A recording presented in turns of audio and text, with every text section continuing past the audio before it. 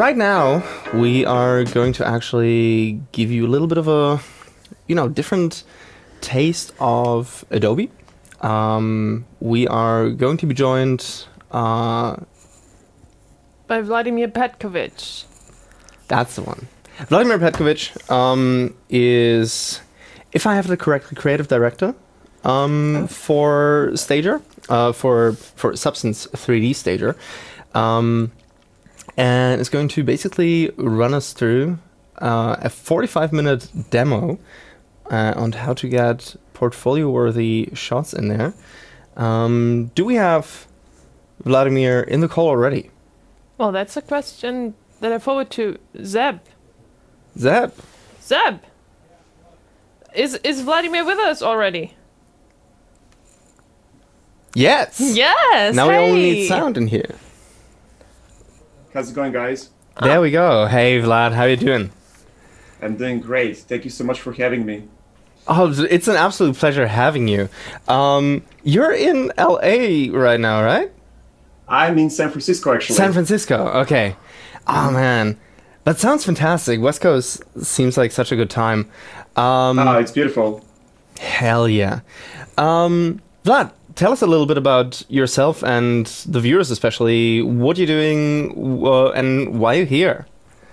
Of course. So my name is Vlad. I'm a creative director at Adobe Substance uh, 3D, or as we call our, you know, our division here at Adobe. Uh, it's called 3D and Immersive.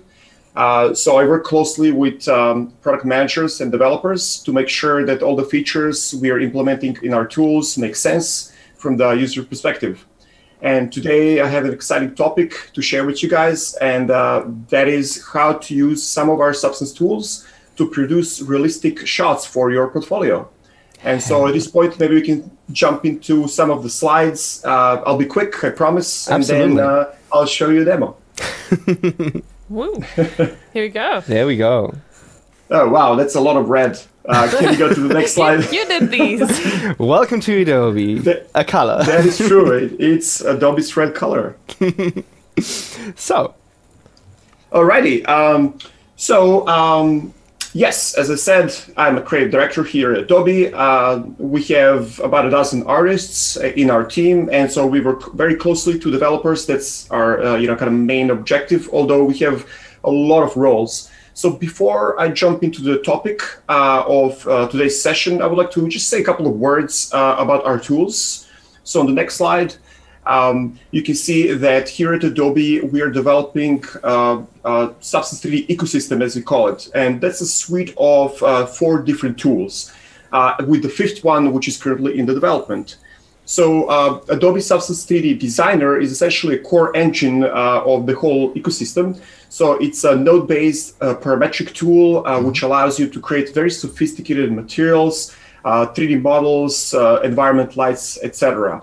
Uh, and then uh, you know those that kind of content can be used throughout the system, and also we do support you know like native integration of you know these materials in pretty much any major 3D app. Then we have uh, 3D Sampler, which is another way how you can create materials and the lights, but it's more free-form. It's more catered to uh, you know creatives. So, for instance, you can create a beautiful, realistic 3D material using a single photo as an input, something that you might have taken with your iPhone.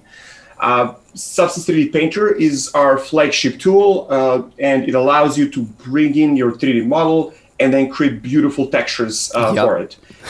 And today's topic is going to be around 3D Stager, uh, which is essentially a, a tool where exactly where you can assemble a scene using 3D models. You can apply some materials, play with lights, frame your camera, and essentially act as a photographer in a way. You know, you can stage your your scene in a really beautiful way, and then produce very realistic shots. So this is essentially what we're going to talk about. So on the next slide. Uh, you're going to be able to see an example of a portfolio. Uh, so, what is portfolio? If you are an artist, any kind of artist, uh, you at some point you're going to need to have a collection of your best works. And this is something that you can present to the client, and it kind of highlights all the skills that you have as an artist. So, in case of 3D artists, those skills cover 3D modeling, lighting, you know texturing skills, how you can compose a shot, uh, things like that. Uh, and there are different kinds of uh, portfolios. So here we can see something that we we are uh, calling virtual photography. Uh, so yeah, on the previous slide. sorry, sorry, sorry. For just a quick second. So here we can see uh, shots which are made to look like real photos, and uh, essentially they are, uh, you know, uh, you know, something that looks like uh, like real photography, and those are product shots, even though they're made in 3D. But on the next slide, we can see something a little bit different. So this is more catered to maybe gaming or VFX, you know, stuff like that. Uh, something that's more creative. So these, you know, these kind of objects don't necessarily exist in real life. But that's the beauty of 3D. You can, you know, just kind of go crazy. You can do whatever you like. Um, and so on the final slide, uh, I'm going to show you uh, this uh, little robot that I made, and this is essentially uh, going to be our hero, uh, which I'm going to use to kind of show you how you can produce shots like this. So there's a range of you know different types of uh, of shots that you can make. So the left hand side, you can see something that looks almost like a studio shot. Um, so I'm going to borrow a lot from traditional photography, uh, dealing with something like you know three point lighting system. So if you do have some kind of uh, you know uh, uh, experience as a photographer, you can absolutely use that in 3D. And on the right hand side, you can see slightly more complex use cases where you can compose this, the you know the same hero asset with a photo in the background, and you know therefore you can give it a little bit of context. And uh, in the upper right corner, we can see a a scene which is completely made in 3D. Well, minus the sky. So that's probably the most complex use case. Uh, so as you can see, there's a range of complexity which uh, you know you can kind of do. Yes. All right. Um, so enough uh, with the slides. Let's uh, jump into the demo. It's a pre-recorded video, but I'm gonna do a live voiceover and explain step by step what I'm doing. Easy enough. Let's jump right into it. Yeah. All right. So here uh, you can see Substance Painter, and currently this object doesn't have any materials, so it kind of looks bland. Uh, and in a second, I'm going to turn on all the materials, and wow, it looks way different, right? way more realistic. And this kind of shows you the power of you know of uh, highly detailed and realistic textures, and that's exactly what, what you can do using Substance tools. Uh, kind of aim for for something that looks very real here I'm using a very convenient feature, uh, and I'm sending my asset from Painter into Stager. So essentially, I'm going to get a package of geometry and all the textures that I made. So all of that is going to be loaded for me automatically in um, in Substance Stager. And from there, uh, I'm going to be able to kind of start, you know, producing some realistic shots uh, using this hero asset.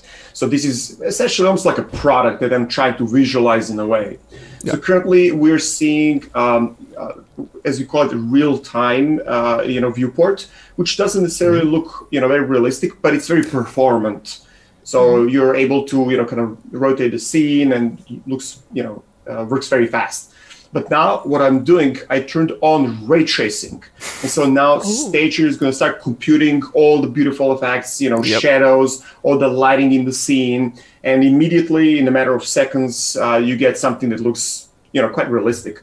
Yeah. Uh, when you create a new scene in Stager, you immediately have something that's called an environment light. So this environment light is a spherical image which is wrapped around the scene, almost like a dome. And so all the lights, reflections, everything you're seeing comes from that environment light. And so as you can see, I'm kind of playing around with the rotation of that light.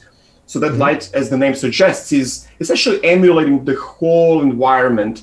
And this is very important because, uh, you know, in order to create something that looks realistic, uh, you need to have some content around, uh, you know, a single object, which we have in this case. Um, so just kind of playing around here with the assets, you know, uh, move it close to the ground. I have some reflections going on. Uh, looks kind of cool, but I can also go further. So for instance, you can change the color to maybe, you know, something that's, uh, you know, kind of bright. So really putting a highlight on your, you know, your, on your object, on your hero asset here. Fancy. this looks so amazing. I just put the uh, the link for Substance 3D in the chat for anyone who's wondering where to find it. Yes. Awesome. Thank you. Also, um, Alright. if you have any questions, put them in the chat, please, because uh, one of your team members, Vlad, uh, Michael Tanzillo, is in the chat to answer all your questions directly. So, Yes, Mike is awesome. He's gonna answer everything, and um, yeah, pl- be, please be free to ask questions. Uh, so right now, what you're seeing, uh, you can create a camera, uh, which is very similar to a physical camera, and uh, you can play with things like focal length. You can, you know, turn on depth of field. So you can play with really realistic, uh, you know, um, elements and uh, you know something that kind of you know you can, can do in traditional photography as well and so all of those little elements are are going to bring the uh, you know realism to your scene and so you can create something like shallow depth of field if this is a miniature for instance so you can kind of play with the you know intensity of the blur Yeah. And This is amazing. our tools, uh, thank you. With our tools, we're trying to, you know, kind of take away the complexity which is traditionally associated with, you know, with 3D graphics. Um, so right now you can see, okay, this is the environment light that I'm using. So all the reflections, which you can, you know, uh, the metal areas of this robot, uh, you know, you can kind of see how they're being reflected in, in, in those areas. And so this is, you know, kind of important. Like, what is going to be the light around your object?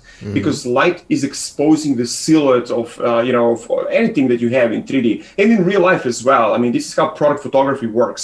You're essentially using light to, you know, kind of complement the silhouette. We do have uh, a number of different environment lights, and you can just drag and drop them, and it completely changes the the overall look of the scene Yeah. and this is you can see how important it is to to kind of really like tackle the, the you know the light uh, in your scene. I do love the I'm just light that's show you- happening on the left right now.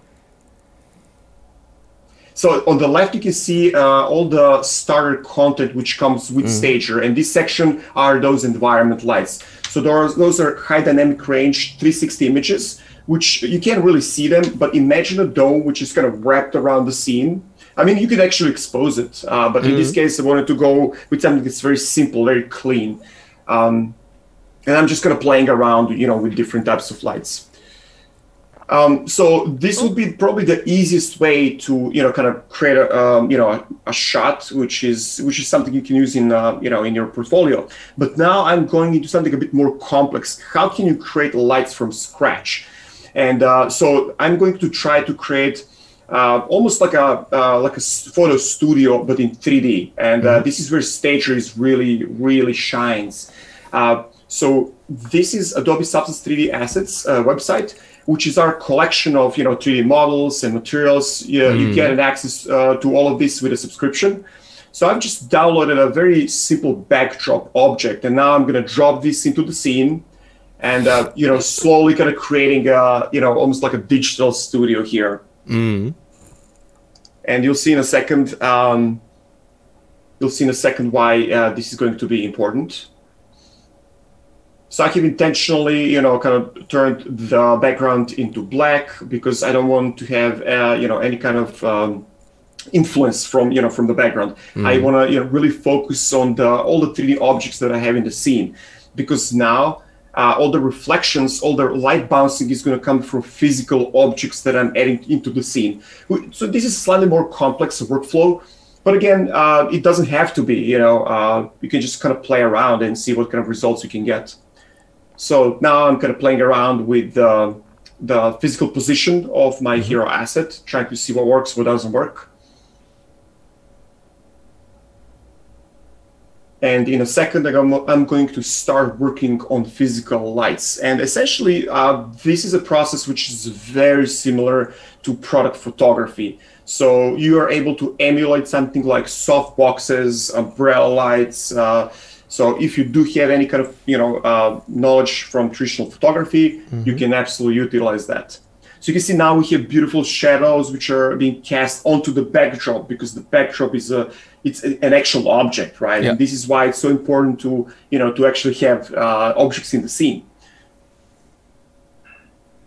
All right, not sure what I'm doing right now, but we'll see. I'm lock the camera. Oh, good. Yeah. I like how much uh, ray tracing helps the image come to life because this right now is, I think, just a, a top down kind of light or like shadow, then boom, ray tracing, and it looks so much better. Exactly. And it, it doesn't come as a surprise because ray tracing uh, in 3D is made to essentially emulate reality, you know, the photon bouncing around the scene. So it works in a very similar manner, and this is why it looks so realistic. Um, right now, I have dropped a physical light. Uh, so I've turned off the environment light because I, I want to take the full control over the, you know, the lighting system that I have in the scene. So this is pretty much like a softbox in, you know, in photography. So you can play around with the, you know, dimensions of this light. You can move it around. You can really pay attention, you know, how this light is gonna affect your uh, your object, which in this case is this uh, little drone asset and it's super you know it's super playful and fun. With the ray tracing turned on you can immediately see you know the you know the result. Yeah. so if you make it bigger you're going to get soft shadows. If it's smaller you're going to get more defined shadows which is exactly like in real life. Like imagine a flashlight. Very small light source super harsh shadows. Or something like i don't know overcast sky coming through the window soft shadows. So same pretty much same paradigm as real life. And this is why i love 3d Hell yeah. Ah, It's so nice how So- you can immediately see the bounce light and everything coming in there Right. with the physical object being in the back. How how it's immediately taking that into account. it is really cool and uh, it's also important to to understand that not uh, that everything comes into play here it's not just the light but as you said uh, Bas, it's very it- it- for instance the way the light is bouncing from objects uh, Yeah. is also important and this is why i have this backdrop because that backdrop essentially is almost like a mirror right Yeah. it's a very rough mirror in a way it's bouncing the light back so had I made it red, for instance, I would have, you know, had a lot of like red bouncing, and you can actually use that. You know, use Yeah. those plates to kind of add some, you know, some colors uh, into the scene. Um, all right, so uh, let's see. Uh, right now, I have duplicated this light because I'm aiming to create a beautiful rim light on the side. So again, it's the same paradigm as in real photography. Uh, I have the key light, uh, which is the main source of light. Currently, it's turned off because when you're working with lights, you want to make sure that you're you only have your active light turned on. Everything else, uh, all other light sources should be turned off Yep. because that way you can really understand how this light is affecting your scene. And this is what I'm doing right now. You know, kind of working with this rim light. Um, and uh, you know, kind of working with dimensions, just playing around. Now I'm going to jump into the camera, and you can see on the left hand side, right? Wow. I love working with lights. People are Yeah. kind of afraid of you know uh, working with lights, and it does take a lot of uh, you know like different kinds of experience, but it's very rewarding. And you can see how you're exposing the silhouette of your objects by using those light sources. And now you can see how two lights work hand in hand with each other. So we have the key light, we have the rim light.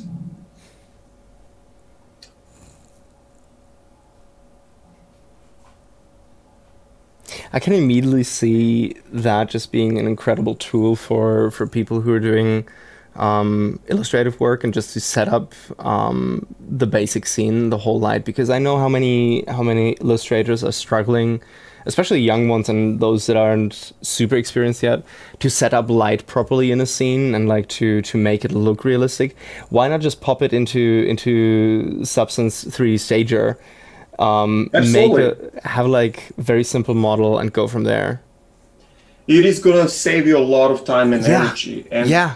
what what we've seen uh, is that we have actually you know traditional concept artists you know people who are come from the painting background. Mhm. Hi, and they use stager to exactly. So you can use stager to essentially solve the perspective. Yeah. and it can be simple boxes you know like let's Yeah. say you're building i don't know maybe a cityscape. You want to draw a cityscape. You can drop some boxes around you know fi- you know solve the perspective get a rendering, drop that in Photoshop, and then start painting over this. But you don't Yeah. have to think about perspective anymore; it's solved for you. So there are you know multiple ways how you can leverage you know 3D. That's fascinating. Yeah. So still working on lights. Uh, it's all about you know kind of trying to complement the shape that you've you know kind of made. Uh, And yeah, you can play with the exposure, you can, you can play with all of those things. And so now let's see how all these lights work uh, together. And so this is essentially what's called a three-point light system. You have the key light, you have the rim light, you have the fill light. Um, so maybe you can answer that because Michael could not give a full answer to this. Uh, the Broken Bird just asked, "How many lights can I add into the scene?" I'm not sure what is the exact number, but you can add a lot of lights. Okay, Like a lot. that's- More than you need. I promise you, more than you need. That's that's kind of what, what Michael answered. Uh, Michael wrote, "I haven't hit the limit in my work, but let me ask the devs if there is a limit." I do believe there is a limit. Uh, at least there's a limit of how many lights you can show here in, in this ray tracing mode. Uh, I think I'm I'm you know not lying to you, but I think it's the number is something like 50 lights or a, a lot. It's a lot. At this point, if you're going to use so many lights, you know you might as well just use an environment light, which is you know emulating the whole environment for you. Um, Granted, sometimes you really want to take control if you have a big scene, maybe it's a cityscape, so there's a lot of light sources, you have cars, you have you know a lot of things like that. So then yes, you're gonna need probably a bunch of lights. Right now, what I'm trying to do, I am essentially still kind of building my uh, you know my little digital studio. So I'm building walls, uh, and those walls are going to be important because they're going to be reflected Yeah. into my object because there's a lot of metal um, on my object.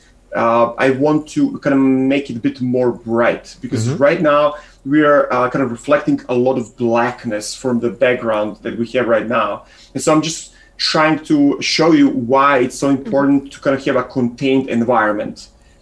So in a way, we're kind of reconstructing an environment like which you have seen at the beginning of the session. But now we're kind of manually doing this everything, you know, like one by one, adding little details. And you can see now uh, what is the difference. You see how it looks much brighter than what we had before. And I'm actually going to show you this. So those are my plates grouped in a folder, and I can hide them. So if I hide them, you can see now it looks much darker. Uh, Yeah. If you uh, take a look at those metal parts right there, you know, so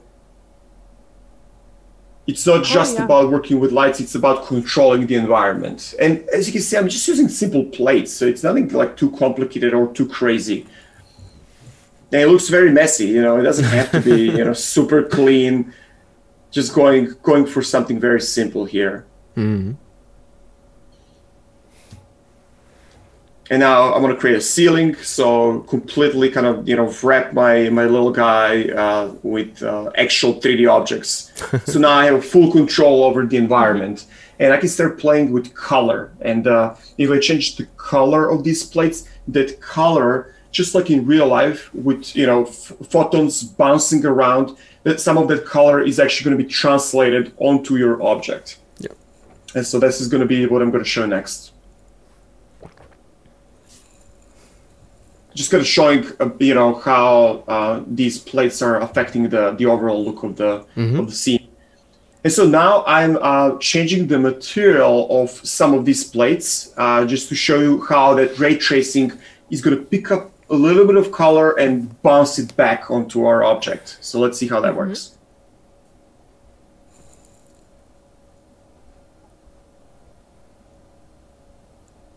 sometimes it's a bit hard to see the little area like- there There's an overall bluish hue now to the picture. Yeah, I love how you how you're Exactly. faking ambient occlusion right now. Uh-huh. And if you think about it, in uh, you know, in um, everyday life, uh, the sky, for instance, is casting this blue tone, and so if you look at the shadows in real life, they're never going to be super black. They're going to be a shade of blue because of the sky. You know, the, the sky is essentially a huge diffuse light which is illuminating our world, and then you have the sun, of course. And now you can you can see how Ooh, you know, yeah. the tone is just being reflected into the metal surface of uh, this little guy. Yeah, right above the big lens, you can really see that it got really blue. Uh huh. So yeah, this is a creative preference, you know, what you're trying to do essentially. So I'm just kind of fine tuning the, the whole scene, and Yeah. hopefully this is going to be interesting for uh, for the audience to, to just see some of that. Well, I'm t- I'm counting on it honestly. no one's complaining. So that's awesome. yeah. There's Oh also hell yeah! Oh wow! There's free trials uh, if you want to. Michael just put the link to those in the chat. So if you're interested, uh, like maybe wait to see what else you can do. So you kind of have that heads up tutorial head start Yeah. and can really really make good use of your trial. But then follow Michael's link and enjoy.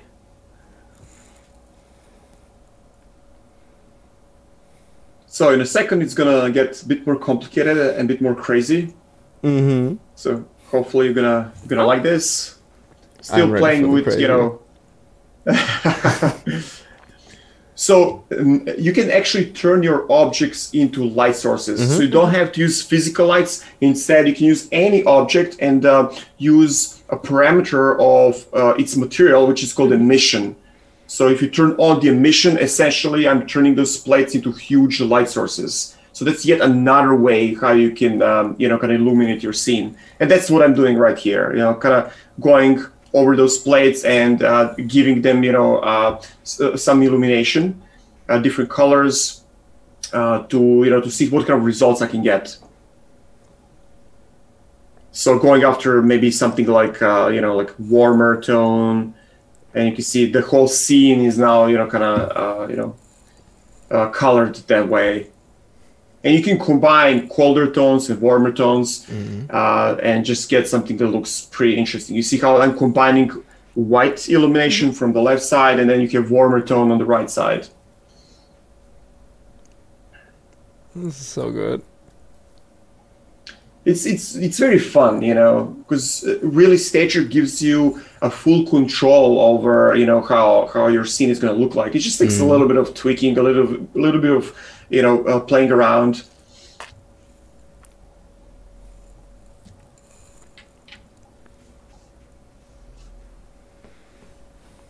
Oh, yeah more examples of very blue yeah. Kind of playing with temperature of the light you know and uh, how you can combine you know warmer tones and colder tones together Yeah. We also have Michael now in chat, um, going more into the question about the the limit of the lights and when your when either the engine or the graphics card is going to give up. And apparently they are at over 100 lights now, and they're still ray tracing, so they'll keep adding until they hit, uh, hit the limit. I wonder I wonder when that's going to happen. If we're going to see that by the end of by the end Oh, of you can- the the uh, the preview. It, uh, well, here it's not going to crash, but that's what we're trying to do. Uh, you know, the, our team, we're always pushing the boundaries of our software just to see where it's going to break. But thankfully, our developers are wizards, and what they do is incredible. I don't even understand, of course, like what kind of magic comes into play here. Um, but you know, they're pretty incredible. The rendering engine you're seeing here is made in-house. Uh, It's incredible. It's. Uh, I was actually going we to have ask both about that. If we both have CPU and GPU version, this is the GPU version, and it, it's insane. As you can see, like everything is almost real time. Granted, I have a beefy machine, so it, you know it's it's pretty powerful. But um, yeah, you can even use your laptop.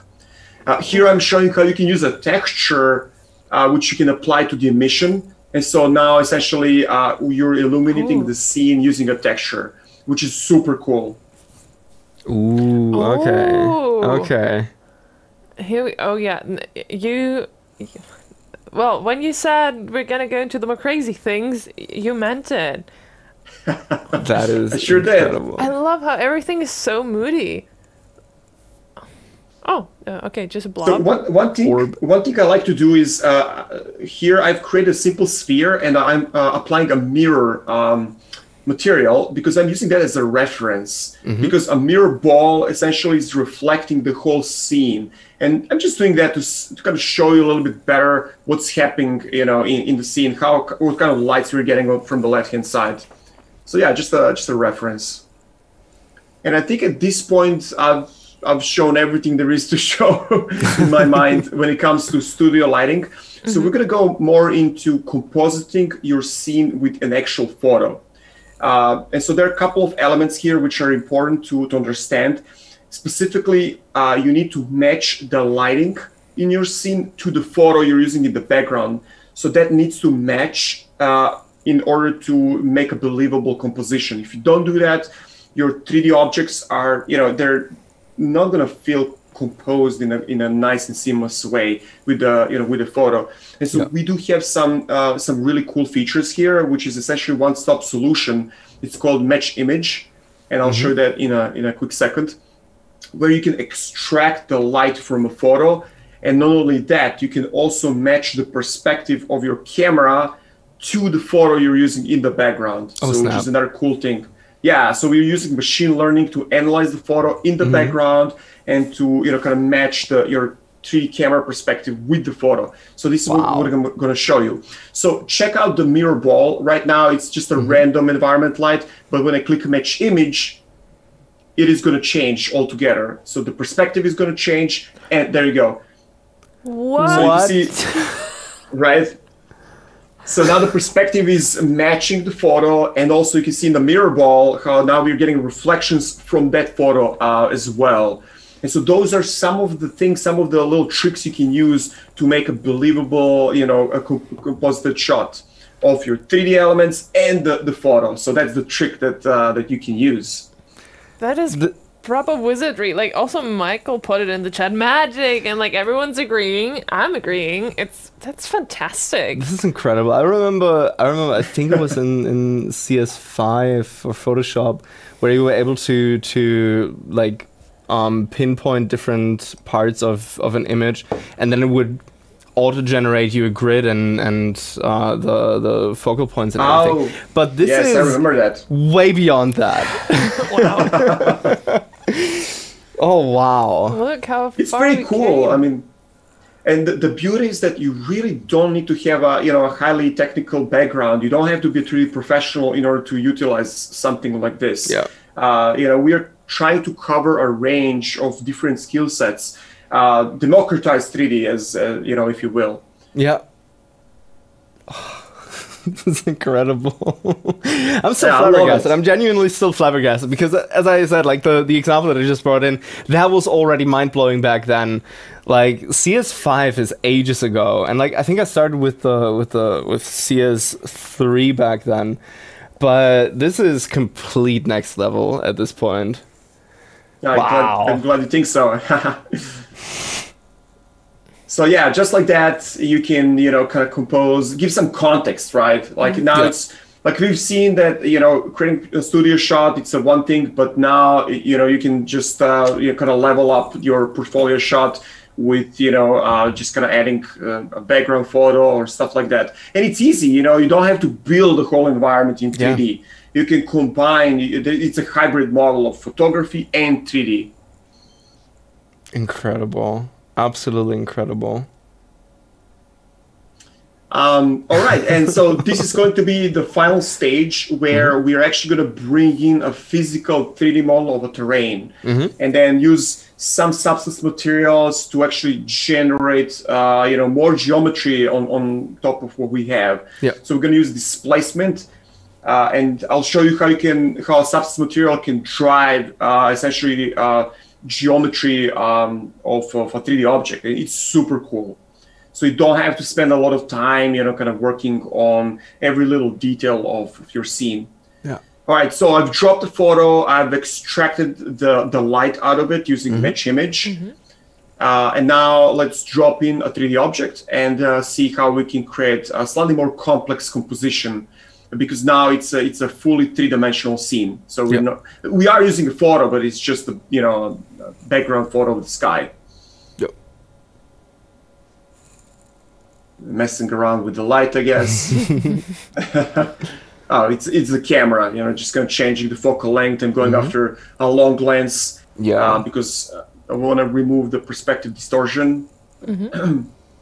And now you can see I'm dropping a physical 3D model, which oh. is a oh. simple terrain that I made. Uh, mm-hmm.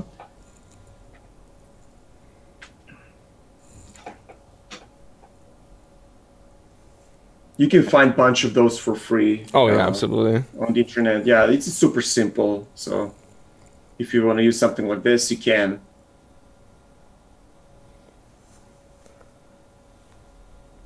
Okay, so you know, really building a bit of a, scene around the the object that the like the hero exactly. object. Um, Something that looks a little bit more interesting uh, in that sense. okay, and I So bet we'll show you range of. Huh? I bet Go we'll get some texture for that uh, as well because right now it just looks like a pile of snow. I'll just I'll just keep it like this. I'm kidding. yeah, we're definitely gonna apply some some some materials here. yeah, there we go. Already starting. Cool. Yeah, it looks a little bit better, but uh, we'll we'll we'll definitely make it way better. I think you guys are gonna love it.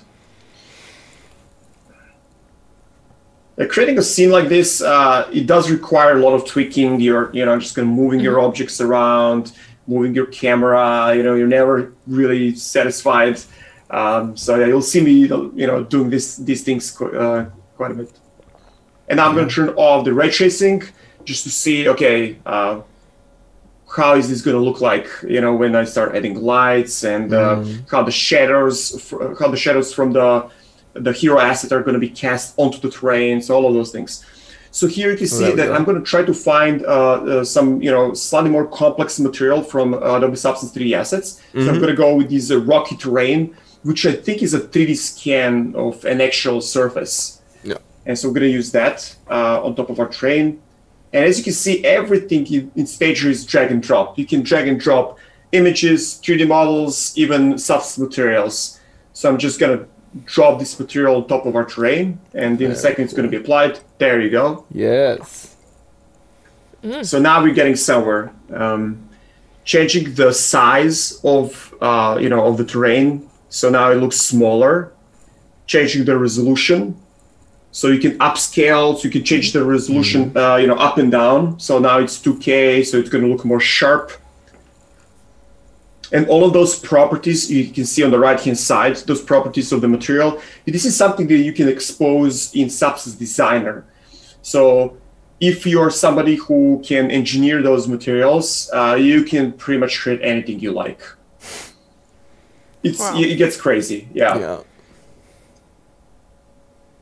And now what I've done, I have turned on displacement. So this material is now generating actual geometry. So if I zoom in close, you can see now we have individual rocks, which uh, so it's not only a texture now; it's actual geometry. Yeah. Incredible. It's super cool because uh, you'll see when I create a sunlight, with, which is a very directional light source. So instead of having a plain texture, now that light is going to be broken as it hits actual geometry. So we're gonna get really sophisticated shadows coming from all of those little elements, you know, the the rocks and uh, and whatnot. So this is why it really it really stands out when you have actual geometry. But Yeah. building geometry like this manually, I'll tell you, it takes a lot of time. Yep. Yep. Yeah. I don't. I don't know. Yeah. no. Well, you don't have to. You can just drop I, a I can material just and call it it in. done. Yeah, exactly. okay, but I can imagine that, like doing it traditionally, you could say it would take forever uh, Yeah. to just sculpt this. in ZBrush, stuff like that. You can, of course, but then you have a full control. I mean, and the base of this terrain, granted, that's something that I sculpted in ZBrush. You know, I, I definitely Yeah. wanted to have these mounts, these little hills, uh, you know, the way I wanted them.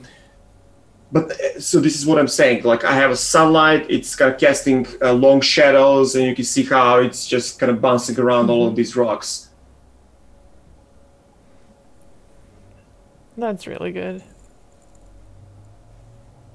So the system I have in this scene, the, the light system is very simple. Essentially, I have the environment light, which has been extracted from the photo using match image, and then I've dropped uh, a, s- a simple sunlight, which is kind of coming from the right hand side because it, from the photo I can see it's sun, uh, like a sunset uh, sky. So you know, long shadows. The the sun is pretty low on the horizon, and that kind of creates a dramatic effect. now I'm playing with the material. I want to make it a little bit more shiny. So I'm dropping down roughness all, all of these little rocks. So it looks almost like a like maybe it, it was raining, you know. So now we have a muddy terrain. That's incredible.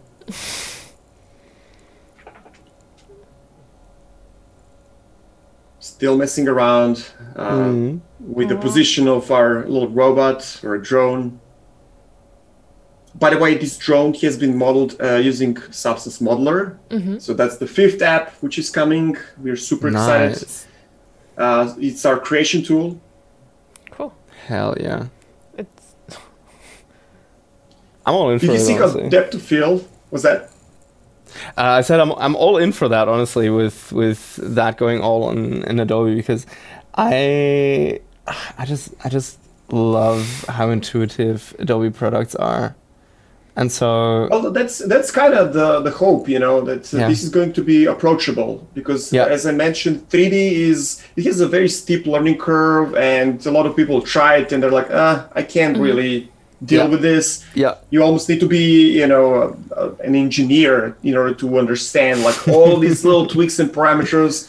And I mean, I've been in this area for 15 years, and trust me, it's never easy. It's just there's always something. yeah, And now we're gonna, we are trying to take this away, all that complexity, and just make it fun, you know? Like, so you can just play around. yes, almost done with the scene, almost done with the composition, just kind of uh, doing final tweaks, positioning this little guy, Yeah. tweaking the lights. The final stage is going to be in Photoshop.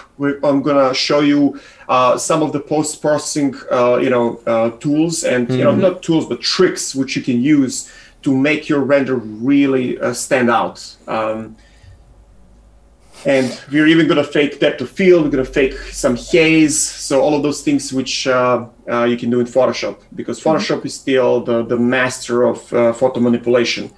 And I mean, rendering is essentially a synthetic photo. It's uh, it's it's very similar to a regular photo that you might have.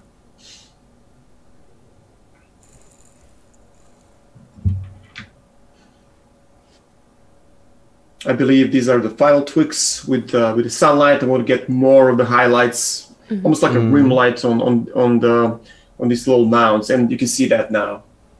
So going after something really dramatic here, an epic shot of our drone showing up. nice.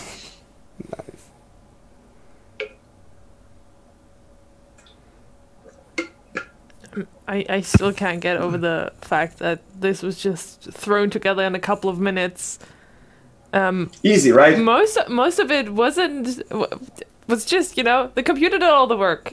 We just slapped on a texture and then was like, okay, boom, make it 3D. yeah. Mater- materials are are incredible at this point. Just being able to to have a computer generate a random array of of different tiles and just model them together, and actually making It's pretty incredible. yeah.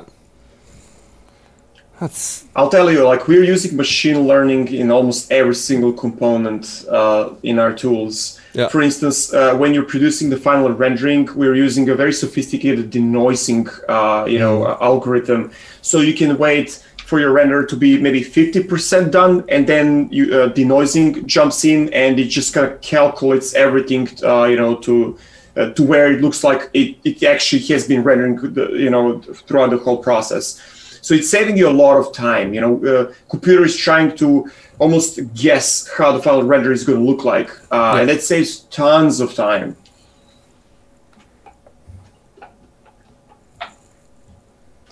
And then finally, I think I'm going to drop just another light on the left-hand side to just kind of expose the, you know, to add some rim light on that uh, little part of the of our object here, and Yeah. uh, we'll call it done. And then we'll jump into Photoshop, and that's just going to play with, uh, you know, some of the some little tricks that I'm using in Photoshop to make it really Instagrammable. I just I love how there's this weird divide in the in the art community when it comes to to rim lights, and I'm just all in for them because they just make things look really nice. Yeah, it's almost like cheating, you know. I know, I know, Is that why they hate it?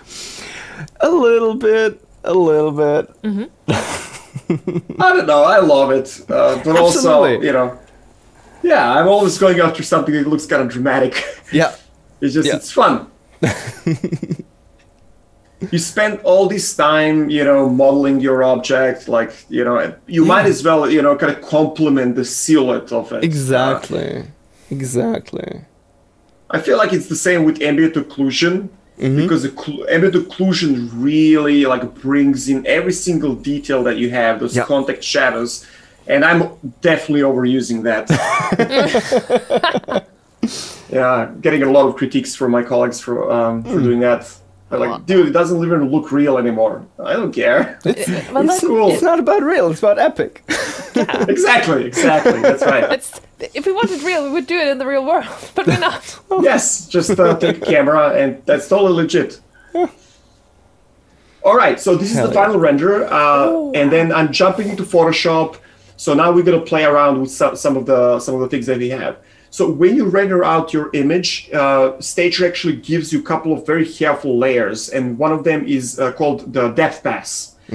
Uh, so this depth pass allows you to dynamically, well, not dynamically, but you can uh, you can create depth of field after the fact, after it's been rendered. So you can use lens blur in Photoshop to uh, to create this uh, you know uh, this depth of field. And actually, in After Effects, you can use the same uh, type of depth uh, depth map to animate depth of field. So Yep. you can go back and forth, uh, change the focus, uh, which is really incredible. Because depth of field is a very expensive effect in 3D, and Yeah. you can do it for cheap in Photoshop just by using this, uh, you know, depth pass. And you can see that, that this is what I'm doing right now. I'm using depth map as a source to, you know, kind of uh, create this uh, fake, uh, quote unquote, um, uh, depth of field and uh, I'm just gonna play with some of the some of the uh, little things that you can do. So now I'm also using uh, depth map to create haze.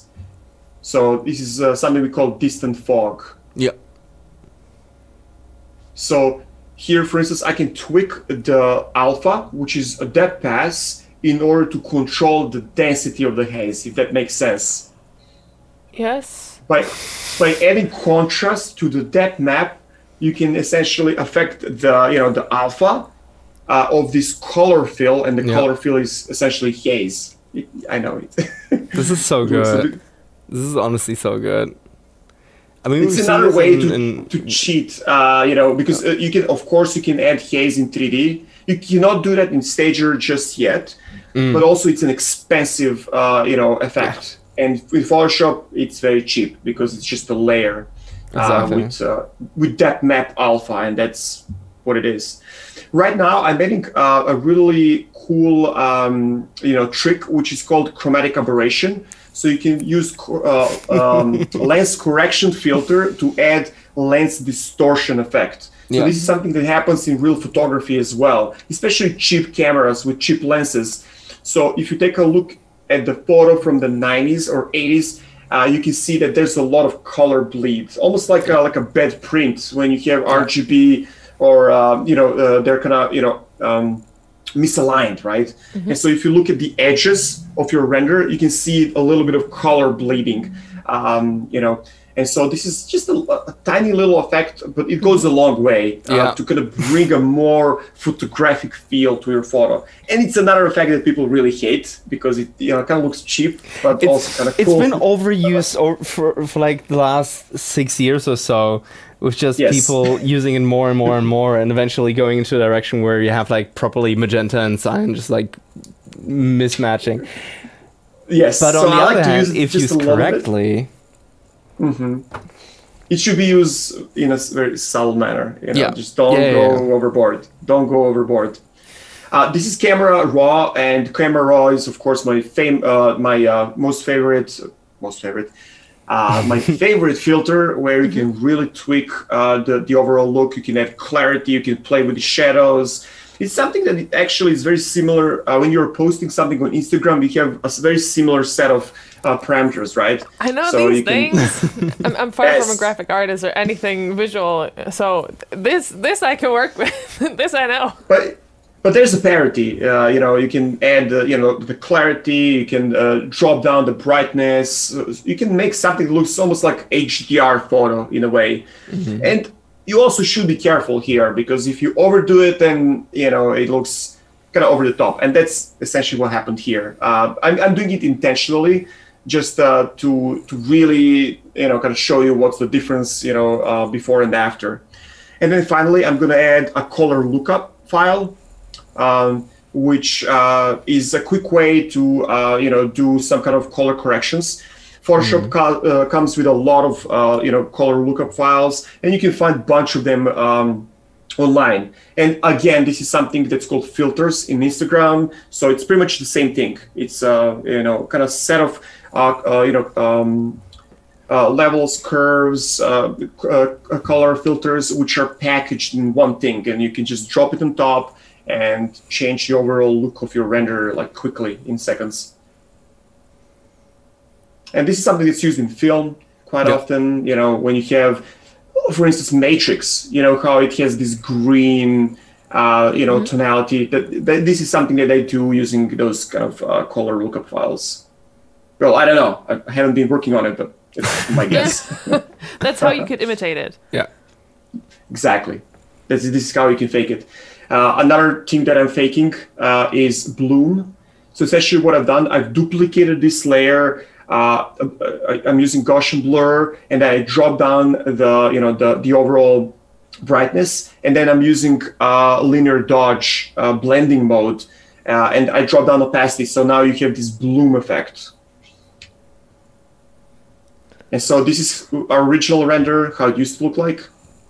I think I'm uh, uh, I'm tweaking the haze because it's pretty intense. Mm-hmm. Maybe changing the the um, the color so it looks a bit more warm. I think mm-hmm.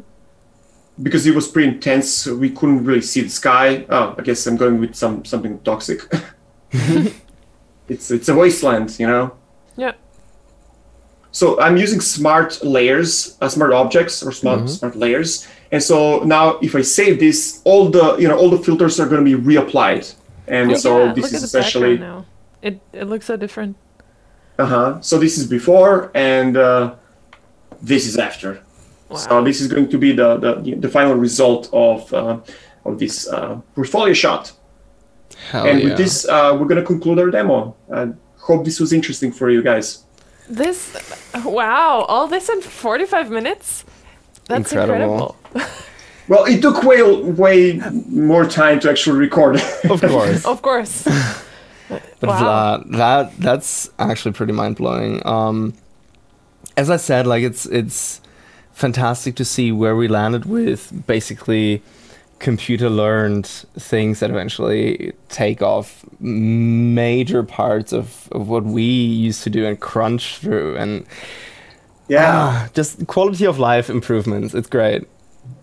So yeah essentially the goal is to um, you know provide people with more time to be creative and yeah. you know less tweaking settings around you know. Nobody wants to do that. Exactly. Of course sometimes you have to you know. If you're working on animation you need to really optimize the render uh, so you know so you don't wait for years for this animation to be done but often you can save yourself a lot of time and this, these are the kind of tools that we're trying to provide to our users. Hell yeah. Ah, this is great. This is really really good. Mm-hmm. oh, thank um, you.